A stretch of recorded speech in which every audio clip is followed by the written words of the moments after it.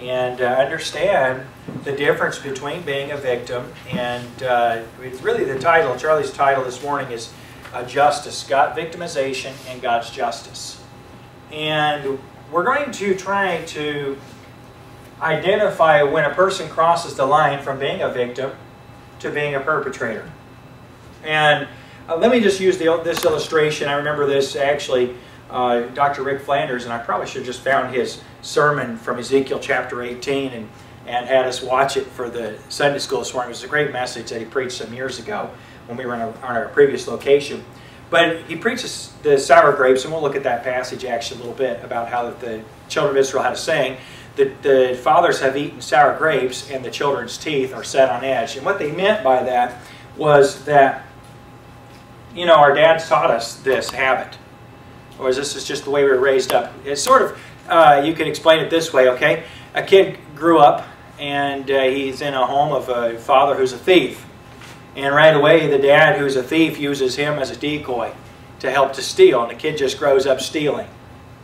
And when he gets older, he gets arrested or he begins to, uh, his conscience bothers him. And his question, the question is, you know, why did I become a thief? Well, his father taught him to steal or had him steal. Um, and so somebody would ask him, you know, why are you a thief? And he'd say, well, because my dad is a thief. You know, and then all the things that his dad did, you know, the things usually go along with that, abusive, alcoholic, uh, you know, brutal, uh, abusive of his wife and his children. Why are you this way? Well, my dad was this way. And then they went to the kid's dad and said, why are you this way? He said, well, my dad was this way. And if they could have gone to that guy's dad, he'd have said, my dad, my dad, my dad, my dad. You see, there's no end to that, is there, when it comes to, uh, you know, so whose fault was it? Whose fault is it that you have a problem? What's my dad's fault? Whose fault is it your dad had a problem? What's his dad's fault? Whose fault is it and it just goes on and on and on. There's no end, is there? And that's sort of a fatalistic viewpoint, if you think about it. If you look at life that way, you are going to be so negative and so fatalistic. Everything is going to be something that nothing can be done about. That's the frustration of politics to me, isn't it? Yeah.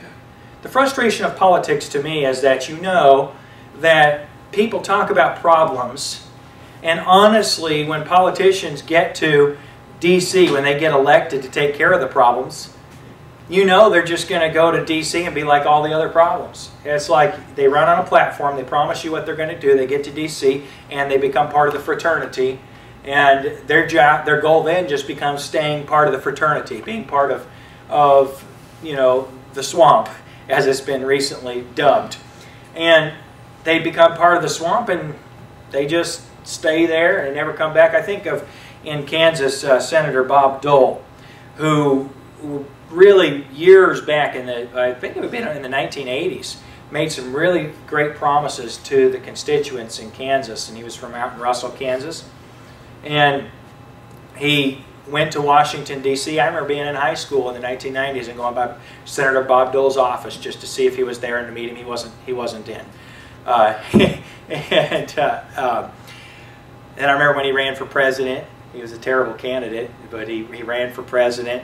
And one of the things that they made a big issue out of when he ran for president was they checked to see where he lived in Russell, Kansas. And technically in Russell, Kansas, he has a room at a friend's house. And then they tried to check and see when was the last time he went back to Kansas. And the answer was he never goes to Kansas. He left and went to D.C. and he's, he's part of that crowd. He lives there and he couldn't care less about Kansas or its, his constituency. Uh, you know, he's, he's part of that part of that mess. And so politics to me is sort of fatalistic. I, I, I appreciate it when a politician thumbs his nose at the rest of his comrades or his peers and says, you know, I'm going to do right no matter what. I, anybody ever watched uh, John Smith goes to, is it who is it? Uh, Mr. Smith Goes to Washington. You ever watch that show where Mr. Smith goes to Washington and he thinks, you know, because his father was a politician, was an honest man, he thinks that uh, everybody, you know, he's going to really be serving the American people and all that. And he goes there and he realizes they expect him just to be a figure.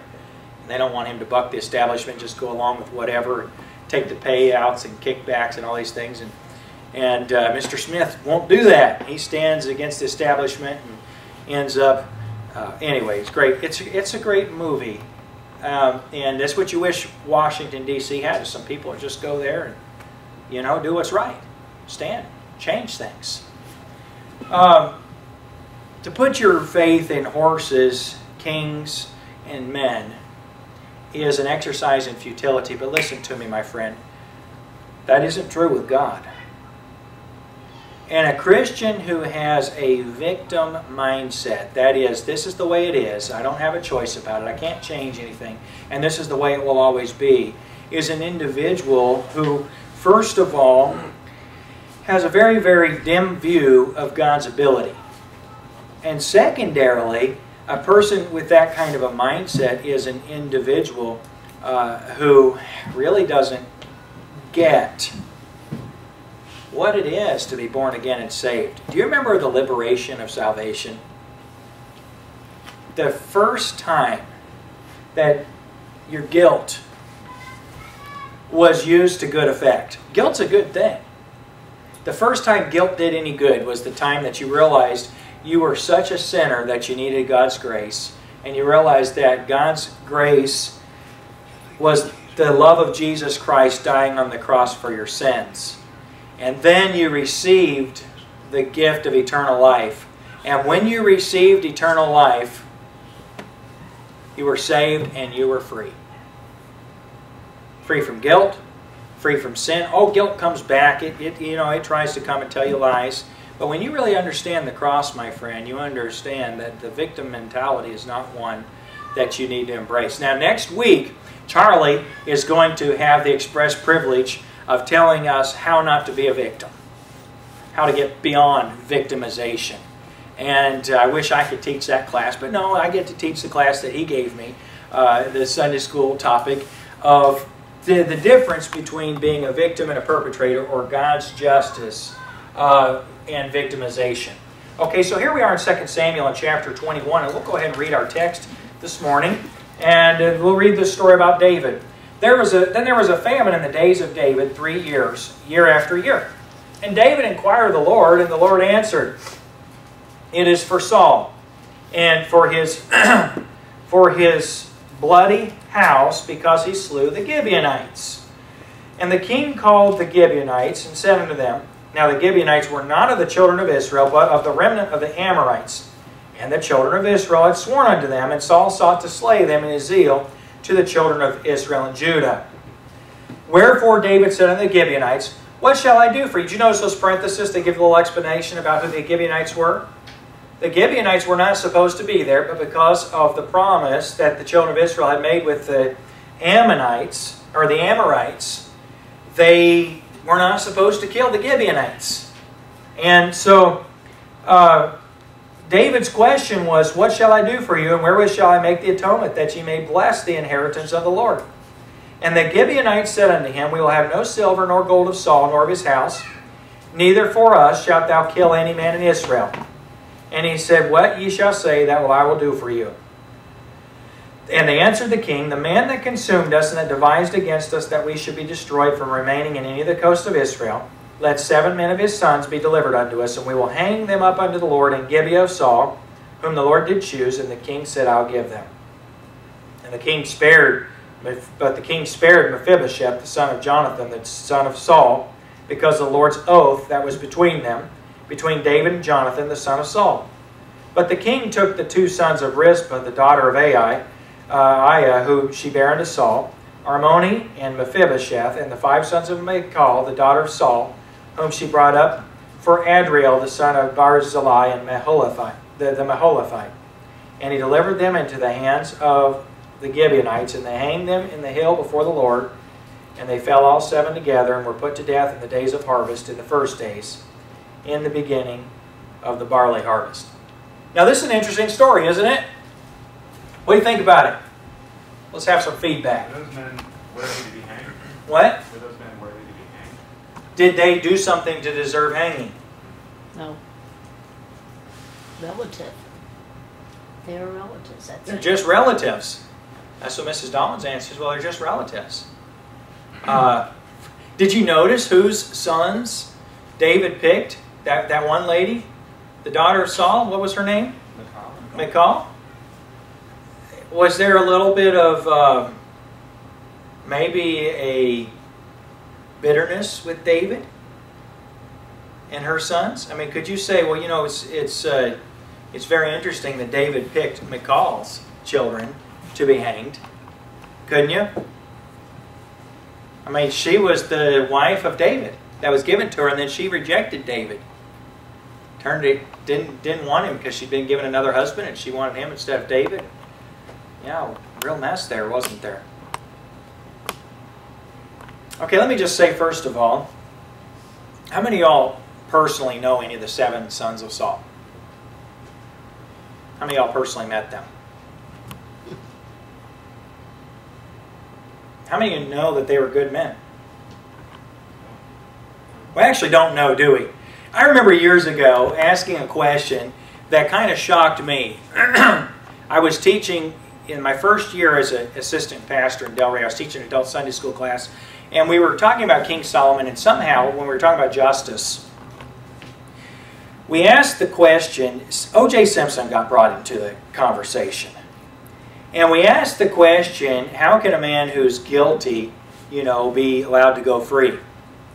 And I asked the question, I said, we all know OJ's guilty, don't we? Doesn't everybody know OJ killed Nicole Simpson? Don't we know that? Yeah, Not we do, everyone doesn't. I think so. We do. Everyone doesn't. Lee says we think so. We, yeah. Lee, uh, Chuck says we think we think he did. The fact of the matter is that some evidence which we think would have been incriminating was thrown out because of the mishandling of the prosecution. None of us sat on the jury.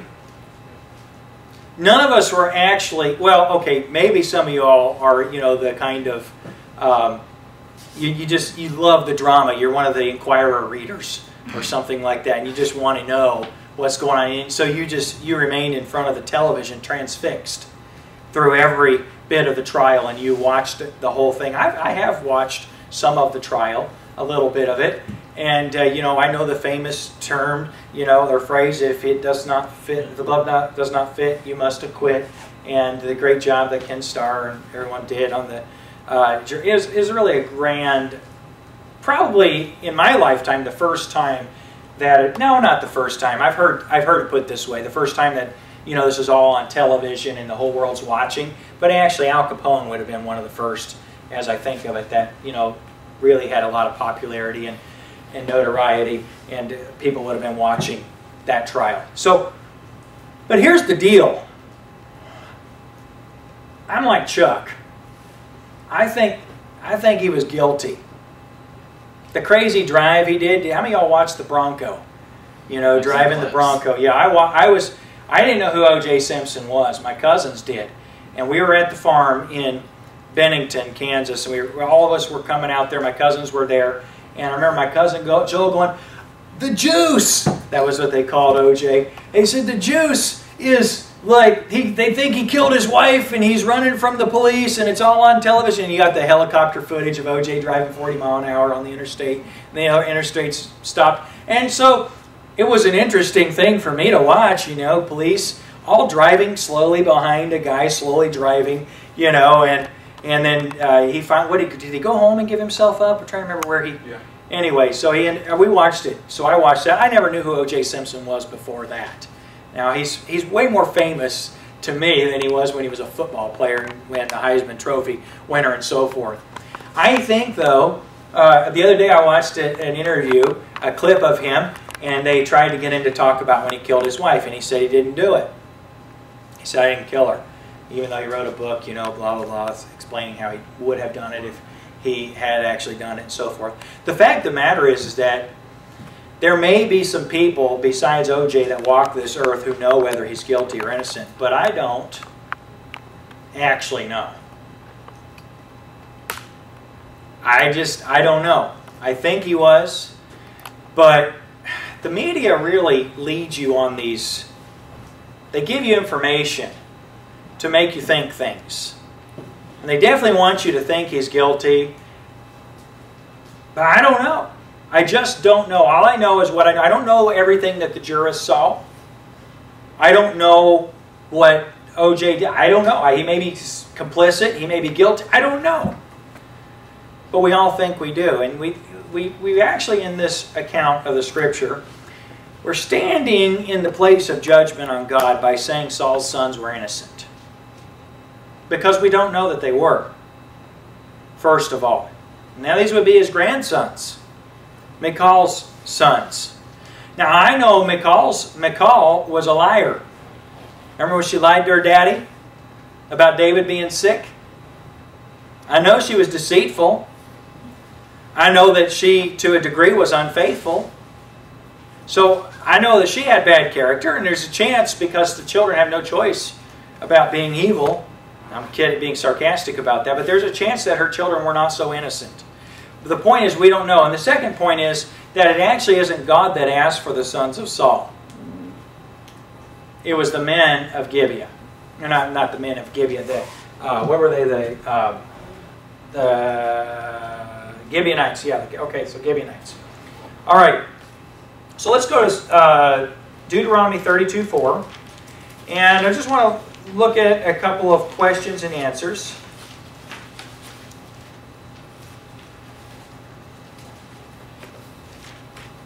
We're going to stay with Charlie's notes for a, minute here and then we'll veer away. Um,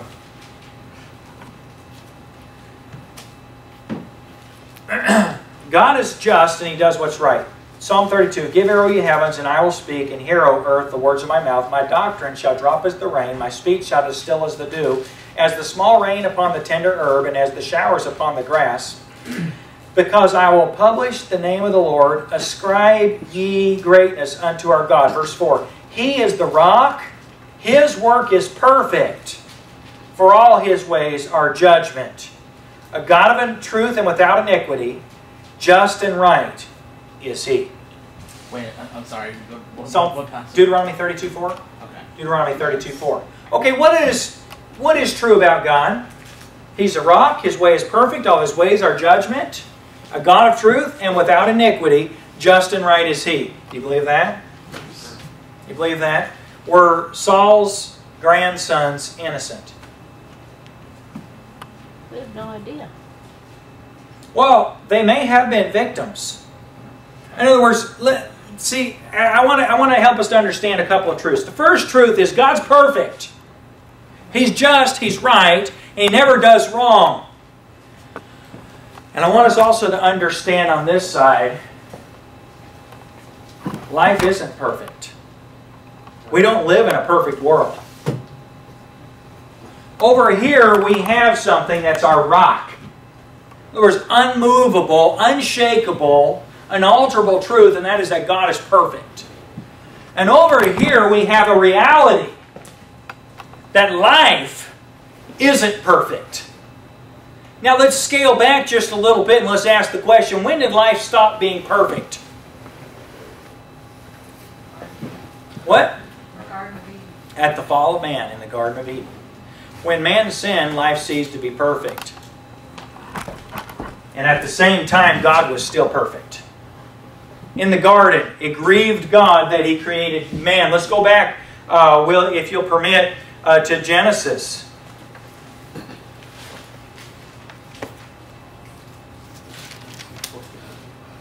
Genesis in chapter, is it chapter uh, 5? That's three, isn't it? Three. Well, that's the fall of man. I'm, I'm going to go to when it grieved God that He made man. Genesis chapter 5, and no, maybe it's chapter 6.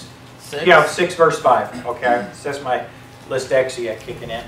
And God saw that the wickedness of man was great in the earth, and that every imagination of the thoughts of his heart was only evil continually, and it repented the Lord that he had made man on the earth.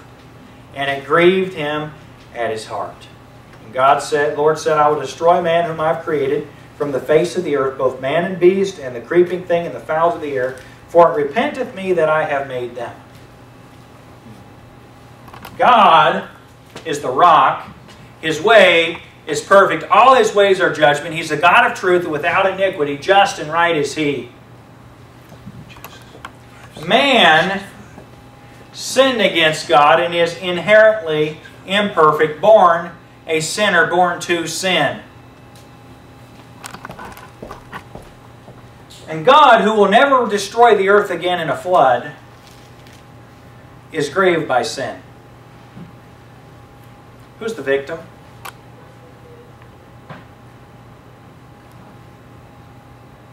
Who's the victim of sin? God is. Isn't he? Who's sin against? Who is sin against? God. Who is offended by sin? Who commits sin? Has God ever sinned? No. He's, perfect. Okay. The difference between a victim and a perpetrator is that sin is against you. If you're a victim. And if you're a perpetrator, sin is against someone else. And that's a clear definition for victim versus perpetrator. Get the definition? Understand it? In other words, an innocent person is one who's never sinned. A sinner is someone who has sinned against the innocent, and that's ultimately against God. You know, there's a lack of clarity about that. You say, Pastor, is there any such thing as a person who's a victim? Absolutely. There absolutely is. But the difference between a victim, I, we're not talking about that today.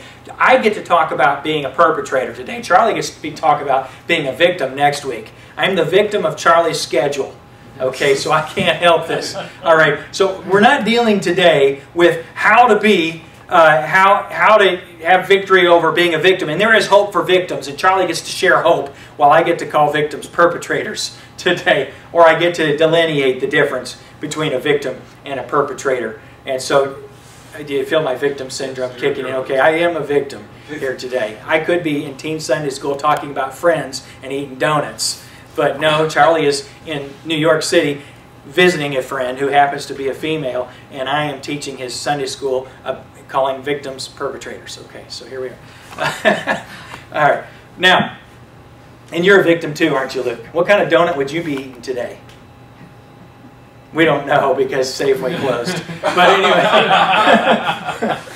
the reality of it is Not as good as the Safeway. donut. okay, but the reality of it is, guys, get this. Listen to me. If you're a teenager and you're here, this is important for you too.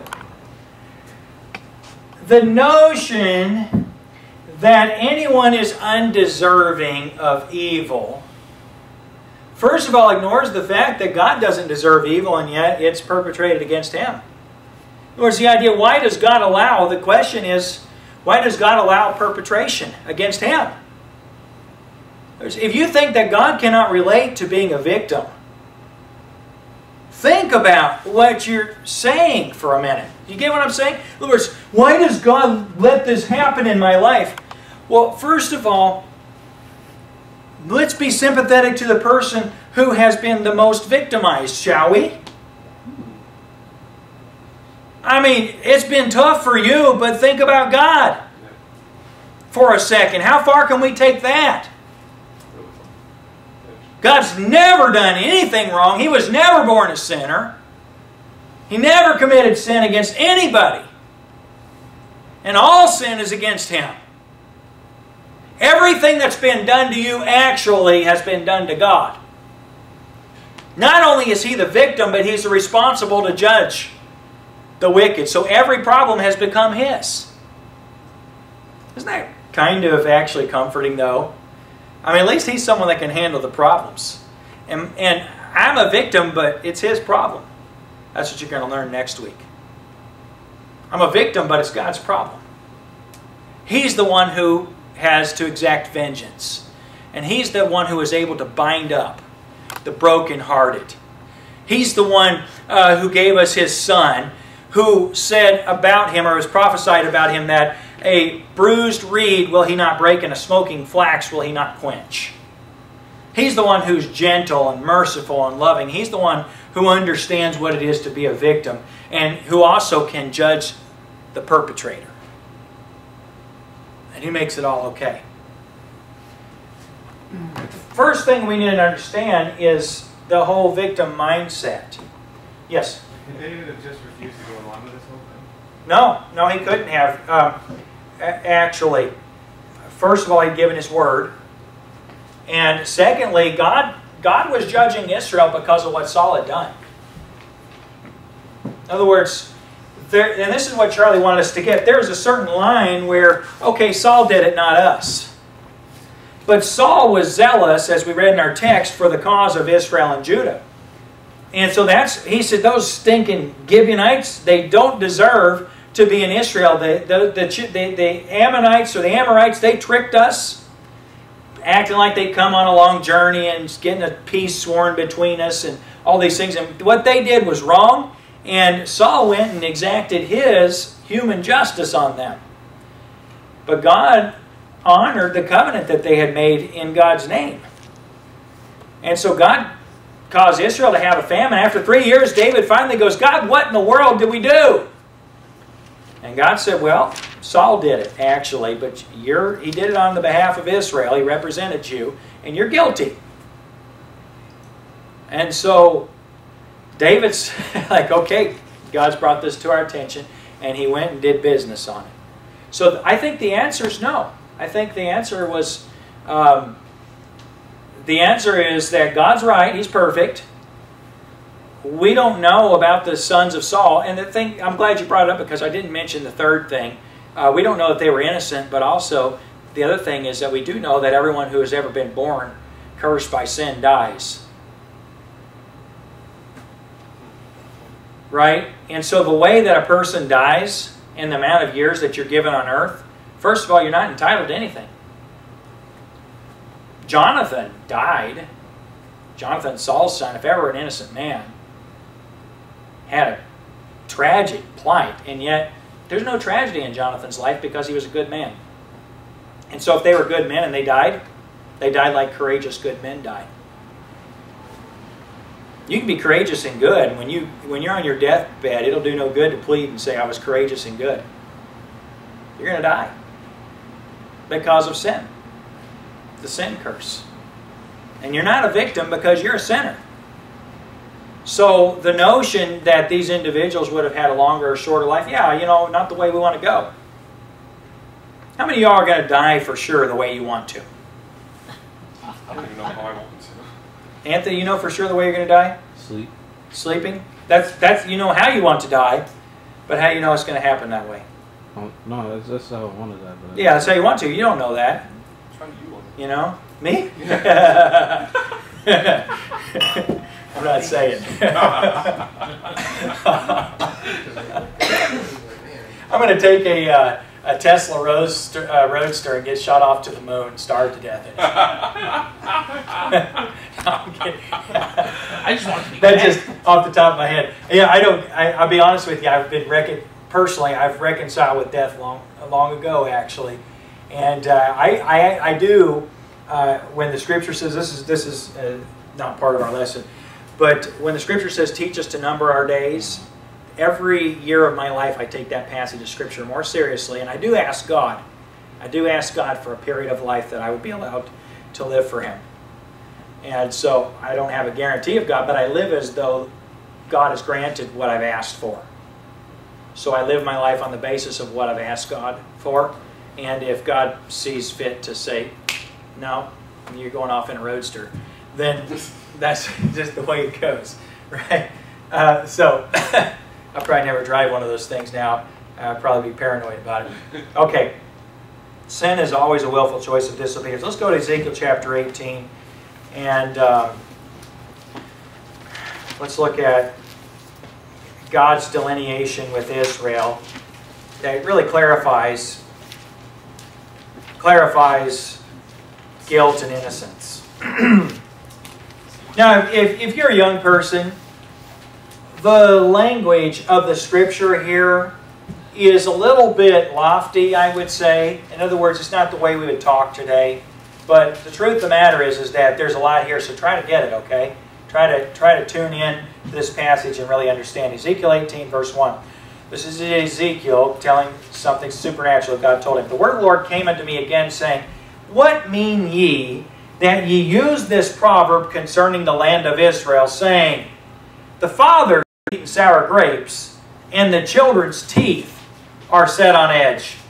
As I live, saith the Lord, ye shall not have occasion any more to use this proverb in Israel. Behold, all souls are mine. As the soul of the Father, so also the soul of the Son is mine. The soul that sinneth, it shall die. Now there's our answer, isn't there, about Saul's sons? What did they do? Well, as relates to the Gibeonites, as far as we know, nothing. What caused their death? Sin. Were they victims? Well, that isn't what caused their death. Perhaps they were victims of Saul's crime, their grandfather's crime. But if they'd been sinless, they would not have been under the sin curse. Do you get that?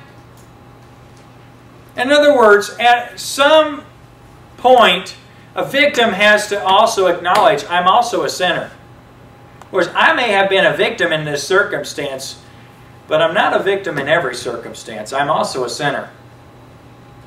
Hear me now. Every victim is also a sinner. Every victim is also a sinner. And not every judgment is in kind. Not every judgment is in kind. Now, when you're being chastised, I believe that chastisement normally is in kind. A person who's being chastised for sin, where God's trying to get you to do right, a lot of times He'll chastise you in kind. For instance, if you're a teenager and you have your first vehicle, and I'm not talking about Shamir here, although Shamir, be warned. Uh, if you're a teenager and you have your first vehicle, and your parents say, I saw the way you left the house today, and you're driving too fast, and you better quit it, or something's going to happen. You're going to hurt somebody, or you're going to wreck your car, or you're going to get a ticket. And if said teenager were to, that very same day, take off too fast, and on the way to school get a ticket, it would seem instantly in the teenager's mind, you know something? You'd just be hearing the words ringing through your head. My wife is, is like my parent now with this sort of thing. My wife is the one that says, You're going to, and you're going to deserve it. I'm like, stop saying stuff like that. I don't need to have your words ringing in my head when I'm chastised. You know, like, don't tell me what's going. To, somebody's gonna, or you're gonna, you know, that little those words of warning. You know, and you're like, ah, don't tell me that. I want to hear that. Somebody's going to do to you, or something's going to happen if you keep doing whatever. And uh, you know, and when it happens, the first thing you think of is, oh man, didn't they tell me that would happen? That's what they said would happen if I did this. And you know chastisement's in kind. And you know, it's interesting that people that God is chastising for sin, it seems that the chastisement's related. Sometimes it's a health issue that has to do with an area of sin, sometimes it's a whatever, but it just seems like it's connected. Uh, years ago, and uh, I, I, remember uh, seeing some pamphlets by, uh, who was the preacher? He used to preach and he wrote a lot of pamphlets for the Sword of the Lord, and he used to write the Scamper the Squirrel pamphlets. What was the guy? Hugh Pyle. Thank you, Joel. Hugh Pyle wrote The Curse of AIDS. I think John Rice wrote about it as well. And I remember some guys in seminary laughing about hey, these, you know, these, these, what you call it, these sicknesses that people get AIDS is a curse of sin. And making fun of that, but actually the truth of the matter is, is that not in every case there are a few notable exceptions, and you could say as well there are notably few exceptions. But almost always a person who has AIDS contracted as a result of sin. And it's just a fact. And you say, Pastor, that you know what? Uh, listen, get over yourself. That's a fact. It's just the way it is. You know, just, just stop with the arguments that aren't really arguments. They're just a liberal mindset that's willing to judge God I, I shouldn't use the word liberal because that's not the accurate use of the technical definition. It's a wicked mindset that's willing to judge God instead of accept personal responsibility. And so victimization, oftentimes, and this is my this is my Sunday school lesson. Charlie assigned me is to be mean to victims, and so here we are, you know, bear with me just a bit. Okay, now in verse 5 of Ezekiel 18, God said, A soul that sinneth, it shall die. But if a man be just, and do that which is lawful and right, and hath not eaten upon the mountains, neither hath lifted up his eyes, eaten upon the mountains, that's meat offered idols. You see that in the Old Testament? All right. Neither hath lifted up his eyes to the idols of the house of Israel, neither hath defiled his neighbor's wife, neither hath come near to a menstruous woman, and hath not oppressed any, but hath restored to the debtor his pledge, hath spoiled none by violence, hath given his bread to the hungry, and hath covered the naked with a garment. He that hath not given forth upon usury, neither hath taken any increase, that hath withdrawn his hand from iniquity, hath executed true judgments between man and man, hath walked in my statutes, and hath kept my judgments to deal truly, he is just he shall surely live, saith the Lord God. And God here says to these poor victims of captivity, if you do everything right, you won't be judged for doing wrong. But did you go through the list with me? Did you see that list? Name the innocent one. What Jew, and, and, and again, pardon me, but what Jew was not responsible for usury? Eh, today, today, it is just a known characteristic of the people genetically that God has chosen. That they'll take advantage of anybody they can financially. You say, Pastor, there are exceptions. Yeah, they're innocent of the stereotype. See, you may have a father who was wicked, but you don't have to be. The notion that God's judging you because of something your father has done is just overlooking the laundry list of things that you're guilty for. Victim. Again, He is a rock. His work is perfect. All His ways are judgment. The God of truth and without iniquity. Just and right is He.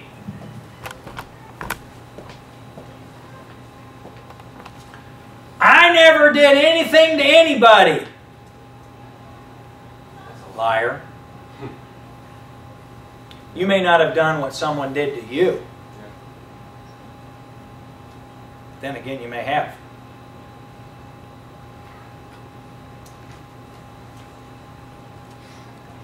A heartbreaking tragedy that is prolific in our society today is sexual abuse. It's probably the most, well, it's spiritual. Any kind of physical relationship has a spiritual relationship. We saw that in 1 Corinthians chapter 5 uh, this, this last week. And so it has a spiritual effect on a person. And a victim of that kind of sin has not only been wounded physically, they have a spiritual wound. And it's an evil thing. And it's pervasive. But the tragedy of it is, is that it's repetitive. Almost without exception, I stand by this statement and I don't care who wants to contradict it. I've never had it contradicted by someone who was telling, uh, who was actually didn't end up confessing that I was right in the end. They may not have said you're right, but they gave me the evidence to support that I was right. Almost without exception, a person who was in the homosexual lifestyle was abused as a child. There may be the exception, but I do not know it. I don't know the exception. Okay? There may be, the, I'm not saying there isn't one. Again, the exception would be notable but it would not be representative. And homosexuals commit crimes against children.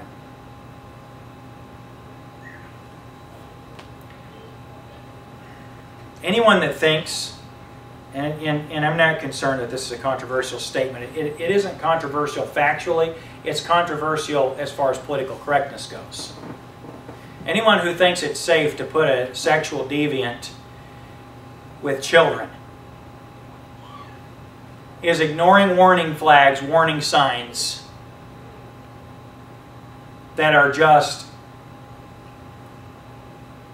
I mean, you're just nuts.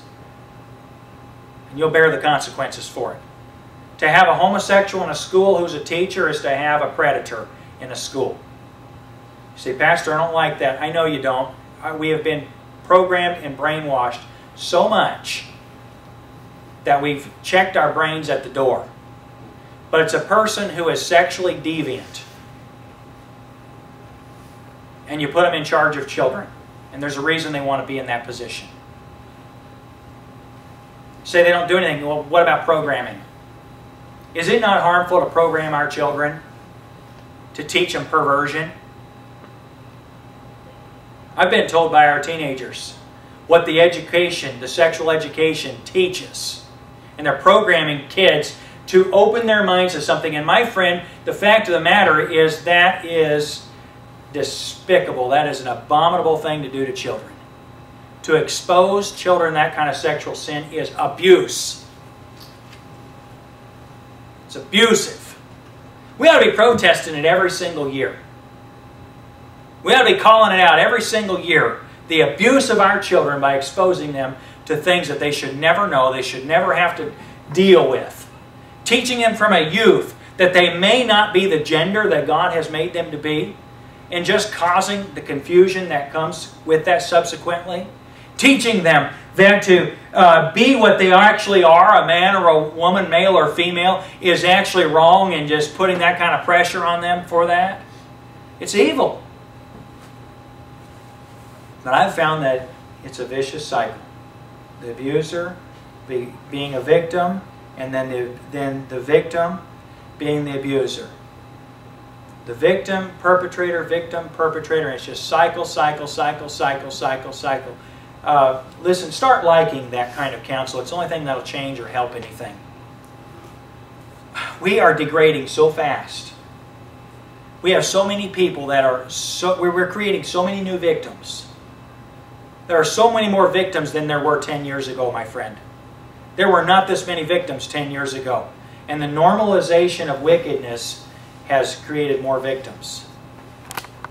God says that the soul that sinneth, it shall die. And the person who sins is the person who is the perpetrator. Can a perpetrator also be a victim? Initially. Does a victim get judged for what they had no choice in? No. What do they get judged for? The soul that sinneth, it shall die. They get judged for their sin. Hey, friend, I'm a victim. You're a victim. We can all hold hands and sing a little song. We're all victims, aren't we? Realist. I'm not, I'm not making fun this morning in that sense. We're all victims. We actually are. God won't judge you for that. He's a victim, and He'll judge the perpetrator. Uh oh. We're all sinners.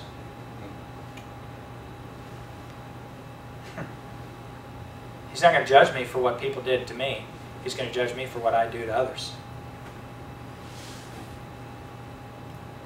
Most victims perpetrate. And they are able to just cut in half